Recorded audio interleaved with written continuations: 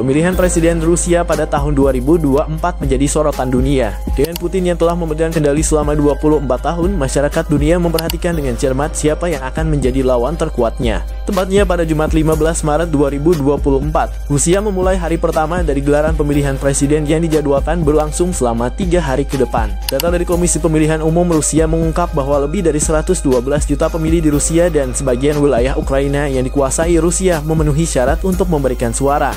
Terlepas dari data tersebut, kehadiran Putin tetap mendominasi di Pilpres kali ini. Putin adalah calon terkuat tanpa oposisi yang berarti. Lawan-lawannya dalam Pilpres Rusia kali ini adalah Nikolai Karitonov dari Partai Komunis Rusia.